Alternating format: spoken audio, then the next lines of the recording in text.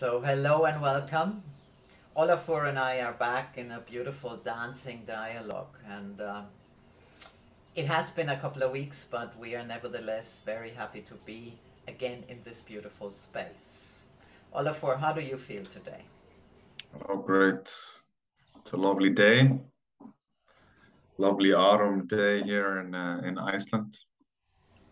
Nice to uh, catch up with you again very happy to be here and uh, share this dialogue with you. We have something interesting to talk about today, don't we? Yes, we have something very interesting.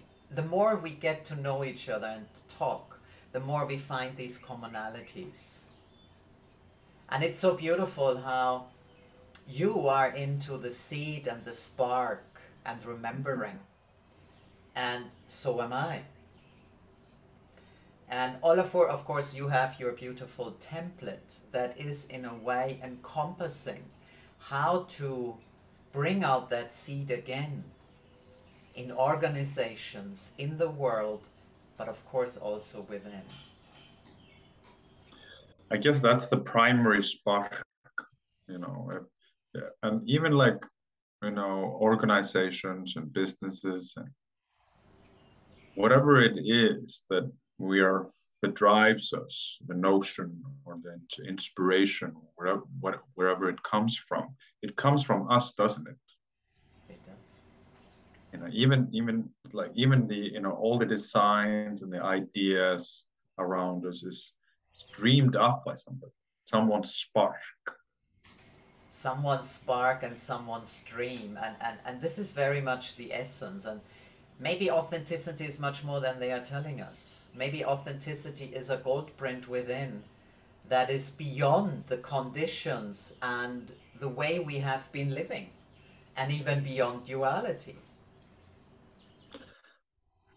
Absolutely, and I really like the notion. There's a there's a key notion here, Patrick. That is like, uh, um, and I try to remember it, remind myself of it if I forget but it's very it's very key into living our authentic destiny or or or, or, or taking care of the seed that is within us our dream or whatever. And that is like only i can live my life. No one else can live my life for me. So whenever i give that power away to someone else outside whether it's through just like a simple approval or anything that gives away my power to live my authentic essence, and then I risk disconnecting from myself. And that's usually the journey that we face, you know, when we step into human conditioning. We, we all have some kind of conditioning, is just to come back to ourselves and living our own life from within and exactly. that like find the seed that is already there. And you said that so beautiful and this is also the new and the emerging divine masculine. Yes it is within. Yes we have only we have this life at this moment to live together with all the other things that we are the soul the i am the, the seed that is within. And it is only us who can do that. It is therefore our power and our choice. And if we miss it, we're missing our opportunity to dream this dream into being. Why we have chosen to be here. So this is so deep and so beautiful. And I really feel it's important that we remember who we are. And it's okay that we lived for maybe eons in conditions and false beliefs and whatever but it doesn't matter because we are here now to remember. This is the time to remember that spark and that seed and live it without excuses, without guilt. Absolutely, absolutely. And it is a journey, every journey of everyday life. People think like it is like that people seem to be like oftentimes uh, forgetting how important and essential it is to do our best to live it in every single moment of our lives, not just through Sunday ceremonies or retreat in next month kind of thing, or maybe in, in, in those rare coaching sessions or whatever it is, but really do our best to nurture it every day. And that's true for like, you know, especially for ourselves, because that's where it begins and that, that's where we're able to hold the connection in the first place. And that's very important for if you're a business leader and you are responsible to other people to, to make sure that we are connected and response able from that space, if you will. Yes. Um, to take care of it ourselves, you know, yes. and and that and to to do that we need space, we need time, we need to be able to incorporate what people seem to often look at as a luxury, but it isn't really a luxury, like which is like to blend more wellness into our lives. The, the, and, and look at the wellness is actually to generate this kind of connection. This connection generates passion and productivity into whatever projects that we are involved in. So that really kind of, you know, we need time and space. We need to create wellness. We need to be able to relax and listen to ourselves. And I think that is often overlooked in this journey, in this process. Yes. I really love how you bring that into responsibility. We are responsible for this body. We are responsible how we show up in the world. We are responsible for the situations that we co-create and create, fully or partially. And the wellness that I love to call vitality, I feel is so crucial in that. Yes, it takes time to nurture that body, to be physically well, to move in whatever way we choose to. This body is not made to sit on a desk 24 hours. It's also not made to sleep 24 hours. But it's more than the body, as you said, it's also nurturing the within, the heart, the soul. And as you said, it's not the hour on a Sunday in some kind of ritual. It's not the retreat, it's not in the meditation or the prayer or whatever we do. It is living it. And I feel this is what you and I are experiencing. We are more and more learning to be it, to be in that presence and to be that example and leader that we have come to be. Yeah, and it's a, exactly, and that's and, and it is an everyday journey, and it is also about those moments of pray, uh, you know, waking up in the morning and have maybe a little bit of ritual for yourself to in order to connect and it's a constant journey of conscious activities and it's like to maintain consciousness and and it's like and it is easy when we are connected and we feel the spark is alive uh, things seems to be working easier in many ways. It's just because we are aligned with ourselves.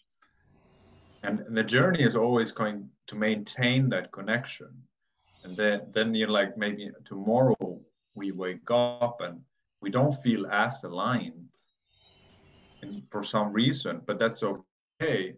Then the journey is about being present and allow whatever is in the process to take place. Not not to think one is good and the other one is bad. It's just to honor every part of the process and to always be aiming for that alignment and practice it in what, whatever way is relevant and suitable for us because we're also all different, right? But we all have certain key elements in common. It's like uh, there's a there's a uh, I'm I'm part of a uh, course called Regenerative Leadership, and it's, it's a great course, and there's there's one of um, sort of thought leaders in that sort of um, um framework which is uh, seems to be an, an emerging worldview nowadays. It's called John uh, Fuller, Fullerton, uh, and uh, and he said that, like for example, we have more in common than we have difference, different. We have differences, and the differences make up, you know, what is sort of um, it gives us individual features and textures that are of great value, and it creates a sense of diverse diversification and diversity that is very, you know, important to us. But it's more like a snowflake kind of differences. It is all unique and different, but fundamentally it's all the same. And so that means like what is kind of implying is that when we understand that even though we are all different, you know, we talk about genders and, and, and yeah. Skin colors, nationality, all these kind of things, we are more fundamentally the same. So the, the difference is more of a style the fundamentals are more is what kind of connects us all together in the way we live and, and we all have the same life in a certain way and so that that's really kind of something to to think about in terms of like when we talk about our unique authentic seed it's more about a style in, in which we live it but understand we all have it in our own essence yeah. That kind of reminds me now of the divine feminine. Because the divine feminine is all about harmony. It's all about connection, bringing things together, that, that beautiful relationship. And when we bring that divine masculine of that being within and unique and individual and do all these beautiful things, and we're coming together, we can see the commonalities and we can enjoy the differences. Because, yes, at the end of the day, we're all here in a human experience, and our soul has chosen this human experience. And we're all together in the oneness of timelessness, that presence. We're all here at this time, at this time of new beginnings and endings. So, as you said, the commonalities are far bigger than our differences. And the differences are the texture, the flavors, the taste, the spices that bring that unique spark that we hold into the mm-hmm. wholeness. Absolutely, absolutely, absolutely. And that and so it is that's the that's the journey. It was like also like as you have talked about uh, from the perspective of yes, the ascension archetypes, you know, yes. uh, ascension archetypes. Yes. Um, that uh, it is no longer uh, a polarization approach. It's more like a process approach, the way I understand it. Yes. Uh, and a, uh, in, in the, a way of living and if if if there's a if there's a, a perpetual movement of living forward, we're constantly dealing with different texture every day, uh, and every and in all environment. Change is constant, and we need the relativity of change to fully experience everything that is available to us. Yes.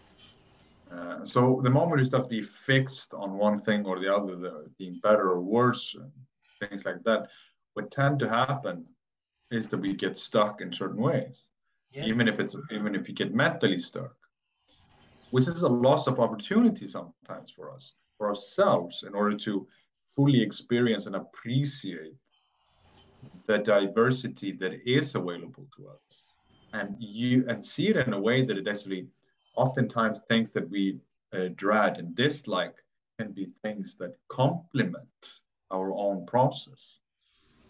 So if uh, when we start looking at looking at it that way and learning from it that way, which happens when we are relatively aligned with ourselves, and it becomes a pleasant journey. Yes. Even the part of it that might be uncomfortable, like shedding an old skin or an old mm-hmm. idea or belief or whatever it is, that can also be something that we learn to see as a natural part of the process decomposing of old things and allowing them to nurture and fuel the new that is emerging. Yes. The new, the seed, like we talked about in the beginning. Yes. And this is just so beautiful how you said that, you know, to be in that flow of real life, which is not the birth and the death and the end. No, it's the regeneration, the new birth. It's the end that brings something new. Also, in my shamanic tradition, we're shedding the skin, and the skin becomes again part of earth. So, all these old ideas and paradigms that we have been carrying for so long and that kept us in a comfort it doesn't have to be difficult to shed it. And this is the idea of the emerging ascension archetypes. So mm-hmm. ascension simply means that we are stepping into the new, into a new consciousness. And emerging, as you said, because we don't need to label it if it's good or bad, we don't need to get stuck and think about the positive and negative expression and right and wrong. It is about living it from the heart, from that seed, and seeing beyond what we have considered maybe in the past as the final and the end of all. And so Beautiful. these new archetypes, their gold print is to be in that flow that you're talking about. And remember that seed and how that seed in us that we are living day by day, moment by moment, breath by breath, is simply a part of this amazing wholeness that we are yet learning to understand and enjoy. Yes, exactly, and that, uh, and it's almost like um, the the whole you know the mystery of the wholeness. It is beyond our comprehension. That's why we talk about like a higher power or higher consciousness and allowing us and um, for me it has been very helpful to to realize that like my my version of reality is only a fraction of the entirety of reality. And the and, and the humility is practiced in that simple notion that i'm just a part of that whole but at the same time i derive my value from being a part of the whole I might not be a great person at all, but I'm a part of something that is greater than me, and that brings greatness through into my life. That's what I believe. You know, that is what nurtures that unique individual seed of ours. It's that relationship? Yeah, I I just that. I think that brings the masculine and the feminine together in a way. You know, receptivity and an expression of that and it's the end of separation mm. you know this this is what we're talking about here. And it is emerging it is here. And it is just an honor that you and I can be part of this as you said.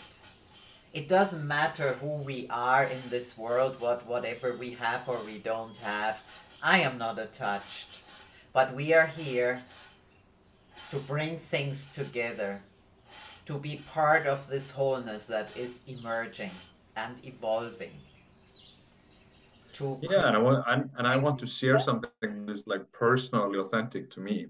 Yes, please. on this journey, that is, and that is like I've been sort of just allowing things to unfold in my in my life. What based on what we talked about it last in our last dialogue, talking a little bit more about just following the excitement you know the was like supporting the life force within and seeing where it wants to go. And it's like uh, and it's uh, and I admit it's not always easy you know I I I I have conditioning to deal with you know uh, just from my society and the, the environment that I interact with every day. And that's okay. But like what I'm realizing and sensing now is that like it is not about like um, it is about what we talked about in the beginning of this interview. It is about that it is my responsibility to live life the way I prefer to live it, based on the values that I love and the values that make me come alive. And that is not about someone else's approval if they like what I'm saying or what I'm doing. However, if I live life in this way, I have noticed that we tend to attract people that do resonate with where we are coming from. And we tend to be supported along the way. And that has been a beautiful kind of experience for me lately because life has been going into a different direction than I anticipated from the perspective of my programming. yeah.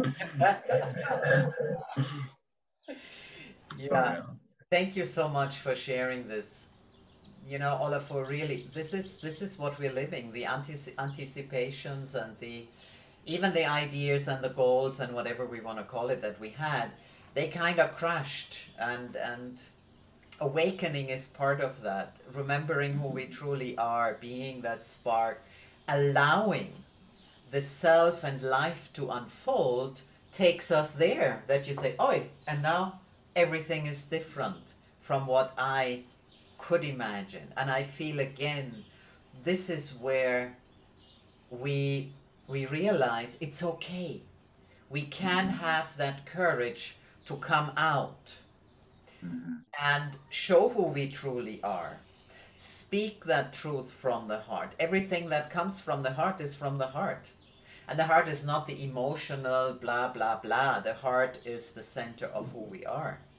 So when it comes from the heart, naturally we are attracting others who resonate with that with that beauty, with that truth, with that uniqueness that we bring to the wholeness. And yeah, I don't pretend life is easy either, you know. We all go through our things. This is the human experience. But as we remember every moment that we are connected, we are in that divine feminine masculine that is now really emerging in the world it's okay. Yeah, and they're becoming, and we are starting to realize it, and it is very essential. Um, I, I really like to bring this point across here that the masculine and feminine are not separate from each other. No, it is not an othering that need to need to take place here. And, you know those kind of polarities that we perceived as opposites in a certain way, they are a central part of each other, and and to in order for us to come in touch with ourselves on the deepest level in this in this way connect to the wholeness that is already alive within us and the wholeness that brings out the seed of who we truly are we need to be able to respect accept and love both the masculine and the feminine Exactly. Even though we even though we have a preferred way of personal expression, either masculine or feminine, the relationship between them needs to be under the umbrella of wholeness and equality. Exactly. And that we are gender, man, women, or whatever now is available has nothing to do with the divine masculine and feminine. It has nothing to do with that because this is again part of that seed that we're holding within and that is part of the gold print of the emerging archetypes and of course it's beautiful for me to dialogue with you as we are both laika the the Q'ero call it laika the the ones that dream a new world into being mm-hmm. if you're not connected to that seed if you don't have the courage to live it you cannot dream a new world into being. And you cannot experience that wholeness. So I really feel we are dancing in this Laika energy of dreaming a new world into being. But as we also spoke about seeds, and I feel this is important, one of these archetypes I actually was given as seed of love. And I feel our conversation, our dialogue today is a lot about the seed of love too, because that seed inside is in the heart. And if we really look at it, it is love. That passion is for the love of self expression, self creation, as well as the creation of the wholeness. So I really love how we flow today with this dreaming this new world into being and being seeds of love.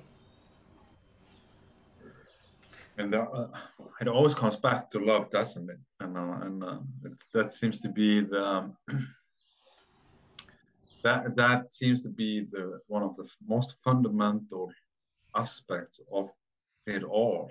Is that that that that and that seems to be what is available to us all whenever we find this connection and if we nurture it and allow this kind of i mean I mean, it's almost like it's, but it sounds like some people, I guess it sounds like a cliche or whatever, but we are always, uh, you know, heading in the, in the, that we all crave this, the sense of true love. And the true love is within the relationship with our own true self. And that is the, that is something that like, I mean, it sounds so simple when we talk about it. And that is sometimes the whole, you know, what what I think the whole journey is about. Yes. And it is not about the accomplishments that we make along the way, even though they're all valuable, all the all the you know the the, the, the, magical reality that we can potentially birth into or manifest in this world through our projects and our companies and enterprises and, and communities and all those things that are potential. Yet the, the whole manifestation most probably the key to it all and the journey of it all is most probably just to come back to the notion that we are in our essence love. Exactly. And this is maybe one of the biggest revelations and love is that heals everything. Love is that brings peace. Love allows collaboration. Love takes away all that has separated us and again, going to these emerging archetypes in general, if we don't come from a place of love, you cannot create what we are about to create or what we are already creating. You cannot embody. And it starts with self love. The more I can love that wholeness of me, the more I can love my partner, my family, the world, the communities, the businesses, the projects that we are mm-hmm. involved with. Mm-hmm. When we step out of that competition and fear and, and how things should be, a template is a guidance, is a, a blueprint, a gold print to how we can create.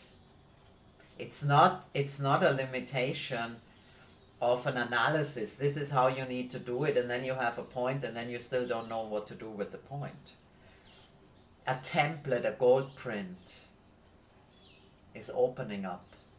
I mean, life itself has its own template. Exactly. It has its own, you know, sequences and spirals, and you know, and uh, we are still a part of that. You know, still a part of the whole, you know, life unfolding through certain themes and template and, and but the fundamental uh, the, the the internal reality perhaps the field of it all is like it happens within the spirit of the wholeness the love or you know whatever it is that like that glues it all together. Uh, we can create things that are more in alignment with it or create things that are less in alignment with it but if you can find a template, uh, like I believe my template, for example, is relatively, or it's not my template, I just what I think is relatively um, a, a healthy approach in how to be aligned with our own seed or the seed of you know the the company. And it's like and it's like if and the beauty of it all if you when you find you listen to people that with that have with their business ideas. You, know, you talk about like the, the you know, people in the startup world, what what it was that actually sparked that idea that they have. Yes. You know, their inspiration or what it, what it was and what moved them to take the action that they wanted to. What you will often find there in the seed is love or something. Of course you know and then and then what happens then often we get lost along the way we forget what the origin was or what was the original idea the original dream or original spark we get stuck in the in the in all the clutter of the external world and other people's opinion. And this is true for us personally as well. And, and, and sometimes we forget, we forget Yes. the seed is there. Uh-huh. And then the whole journey comes into like processing us back out from the space. And there it is, just like it was in the. very Uh, beginning. Yeah, I, I love how you also bring that into context and it applies for companies. It applies even for countries. You Yeah, know, there, there's at the essence of all is love, and we have covered of that love with fear, with separation, with doubt, with conditions. And now we have an opportunity to shine this love again. And I love how you do that in companies. And as you know, I have my background in organizational development. So when you speak, it kind of takes me back, but yet it makes me present to being with organizations at this time and also being part of allowing them to come back to that love that was the seed where they all started whether it's a community or an organization whether it is whatever or if it's ourselves and as we said and as we were so clear today what is within can be without what is not within cannot be without. Uh, We cannot talk about things that we don't live, that we don't embody. And I'm really happy where our dialogue took us today, Olafur. I don't know about you. it was very alive. There's a lot that came through in this dialogue, and You couldn't make it up. yeah, it's amazing, and uh, and uh, and it, and it is. I believe, I you know, I believe, you know, it principles of resonance sometimes take you know take a life of its own, you know, and we and, and I'm very happy to uh, that we allow that to happen in our dialogue. This is what good dialogue is to me. Yes. Allow our resonance to move through us and, and, and, and to feel it in a certain way. And then that is very healthy, you know. And, uh, and, Yes. and you find that like, oh, there it is. There is the spark, you know. It is the spark. And we yes. spark each other, you know. Exactly. And it is just so magical, so wondrous how this just arises spontaneously. I'm always in awe to see when true dialogue happens. It's Yeah, in too. resonance, of course. Yeah. Just beautiful. I feel we're gonna close it for today for ourselves, and for our audience, because we love when they hear till the end. yeah, thank you for staying with us. Yes, thank you for staying with us. And we are looking forward actually for the next one, Olafur, because there's so many things that you and I love to dialogue about and share with the people out there who are in that same process, on that same journey. And we love to be part of all of us on this journey and this beautiful dancing dialogue that Olafur and I can just experience and allow to unfold. So Olafur, again, thank you so much to Reykjavik and Iceland.